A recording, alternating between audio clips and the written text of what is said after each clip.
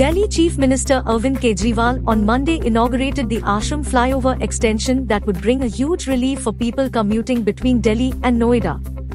PWD Engineer in Chief Anant Kumar said that for now, light vehicles will be allowed on the extended flyover. Woes of people have ended. Those coming from Noida can reach AIIMS hospital sooner after Ashram flyover extension opening, Kejriwal said. Ashram flyover से DND तक का ये extension जो अब पहले घंटों घंटों तक इतने लंबे लंबे ट्रैफ़िक जैम होते थे, खासकर सुबह और शाम को ऑफ़िस आवर्स में।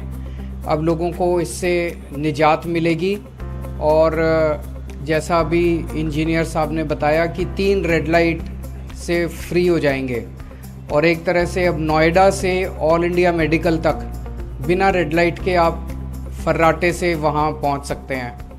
He also criticized the tardy pace of work during previous years, saying 27 flyovers have been built under the rule of his Aam Aadmi Party in Delhi, but only 84 flyovers were built in the last 65 years. Kejriwal said 15 more big projects are in the pipeline. Indian Journo is now available on your App Store. Download the app now and get all the impactful news on the go. Subscribe Indian Journo to stay updated with the latest news.